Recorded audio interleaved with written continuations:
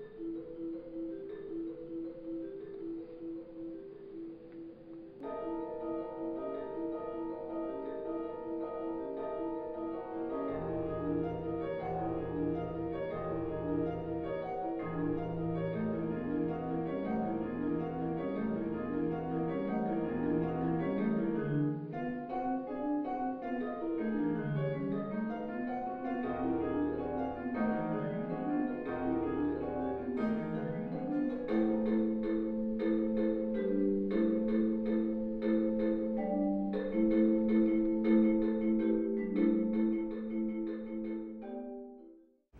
for the first time in history, not only can we get information directly from the brain, but some of that information is extraordinarily robust. Well, that's a game changer. It changes the way in which we get information from other human beings and raises a host of ethical and, by the way, interesting legal questions about things like privacy. So what functional MRI is giving us is a window into the brain, a window onto signals of the brain that we haven't been able to capture before. All of these things we're seeing as essentially pictures that light up or signals that light up in pictures. They're very powerful. They need to be interpreted very cautiously. But there's, there are stories to be told through these images, and the media appreciates that, and the media is doing its best to convey that information to the public through these images. There's a long way to go in communicating the meaning of those signals better to the public. Um, but we're working on that. The public is sometimes fed these rather horrific stories about how just let me put you in a brain scan and I can tell, you know, whether you're having sex uh, apart from your wife, or I can tell whether you're lying when I ask you a question. It's crap. Now, of course, there's always entrepreneurs who want to make money selling snake oil, God bless them. Uh, so they should try. But we should not buy into it. So I have been called a snake oil salesman. Um, it surprises me. Uh, it's disheartening in the sense that, from the scientific point of view, scientists should work together and not call each other names. In fact, much of the work that we've done hasn't swayed anybody's, you know, opinion over the last five years.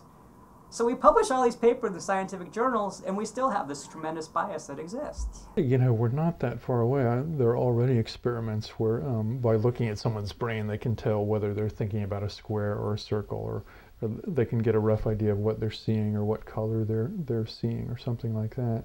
I think what'll get the slippery slope started will be, for instance, now there are more powerful lie detection techniques that are being tested. That they're already more powerful than the polygraph if your accuracy is anywhere below 100%, should it have a role in court? Uh, what should its role be? But I think that ultimately, you know, if materialism's right, ultimately it would be possible to achieve an accuracy rate of 100%. What the basis of uh, non-self-incrimination is in the United States? Is it that you have a right not to uh, act against your interest, or is it uh, an attempt to keep people from from being tortured and coerced into saying things? Right? Is it on the surface? Uh, what kind of right is it? And uh, where does that stem from, and what? Uh, when can we subvert that for the, the public good or need to? And what's so interesting about it is a brain image that can apprehend subjective thought is neither testimonial nor non-testimonial. It exists in a category that we have not yet defined. So it isn't that the courts are going to have to discover which one it is. The courts are going to have to decide which category to put it in, um, which will be based on, in some sense, virtually arbitrary criteria. fMRI is uh, relatively non-invasive, so uh, um, physically non-invasive. I mean, the argument is that it's extremely invasive because it invades the very internal brain states that uh, that can possibly tell you something about your thoughts. It's just false that we don't understand the relationship between the mind and the brain, really. And it's false that this isn't going to be, there's not going to be significant progress in these areas. So we might as well start dealing with them now. The skull should be an absolute zone of privacy. I don't even believe a court order should allow um, you to uh, brain image someone and get subjective thought against their will. We might want to make it sort of a universal principle that this should never be done to anyone without their consent. because once we cross that border, you know, we've lost something that, in a way, is the most valuable thing we have. You know, even the most wretched prisoner enduring torture still has the option of keeping the information to himself. But if that disappears, it's really going to change things, you know. Um, and it, it's, it is a threat to our human nature. So we might want to consider a sort of a universal law of non-interference with conscious states unless people want to do it. It's a very special kind of privacy that we have, um, the privacy of our, of our conscious minds. And, but as you can tell, this immediately brings up ethical problems, serious ethical problems, right?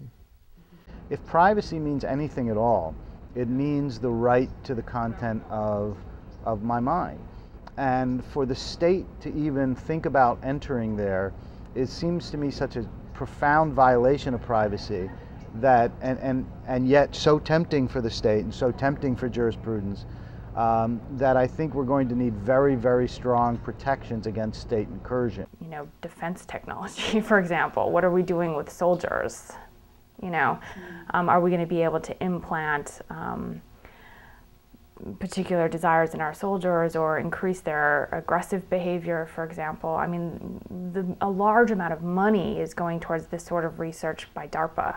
The fact that we can so simply and reliably change aspects of ourselves with a pill or with a, you know, zap of the transcranial magnetic stimulator or whatever, really, I think um, it, uh, yeah, it sort of shakes that sense of having an enduring constant self. The possibility of serious enhancement is a real worry with regard to what it means to be human.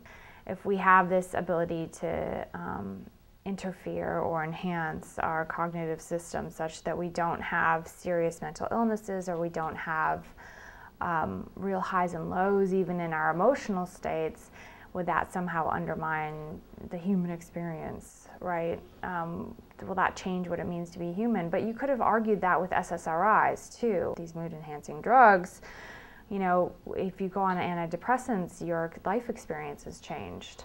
And it would be the same with neuroscientific interventions, however, those might be permanent. But it's very hard to find the place that, that you can draw a line and say, this side of the line is um, uh, the person has an illness, they have a disorder, and um, it needs to be treated. And this side of the line, the person just has a sort of lifestyle complaint, and um, anything we give them for that is enhancement. Um, any place you draw the line, it's just going to be arbitrary. There's always something lost or gained. And that's what's interesting about ethics. Ethical dilemmas are always, for me, what are we willing to give up to preserve something important? So we give up something important in order to preserve something. And that's how it will always be with enhancement. You know, we are going to focus on one thing at the detriment of another. And we just have to be comfortable with that loss. I think it's, you know, in some sense, it's not a question of should they. I mean, they will. It's uh, it's human nature to try to, you know, improve things, improve the world around you, and improve yourself. And I think we're seeing that already. We're not just the the passive. Um, recipients of our brain's information. We are our brains in a very fundamental way. And it's all part of a dynamic set of systems about how we behave and ultimately there is no one to take responsibility for that behavior but us. Another possibility is it'll entail a complete um, radical upheaval in our views of science and neuroscience and all of that. So it's a bit like saying maybe mind and brain are like maybe two sides of a coin, or maybe mind and brain are like two sides of a Mobius strip, which on local inspection look like two different things. But if you knew the whole picture, you would say, in fact, hey, it's a Mobius strip. Okay? So maybe mind and brain are related in that manner. There's some logical relationship which we don't understand yet. But once you have the right framework, then, then maybe you'll understand what qualia is and consciousness is. And so you think about this brain, you think about like your conscious thoughts are what you recognize. But, you know, whether it comes to identifying people's faces and your self reporting on that, recognizing patterns, or recognizing, you know, whether you're going to change your behavior, your brain's a better predictor than your conscious, you know, reporting of that. To me, that's really fascinating. What it'll affect is our understanding of who we are as people. Um, and then our understanding of who we are as people might affect our view and our appreciation of our ethical values.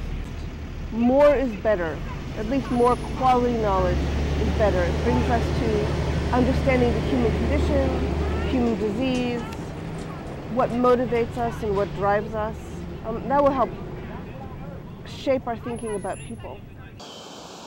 The question is, what is human?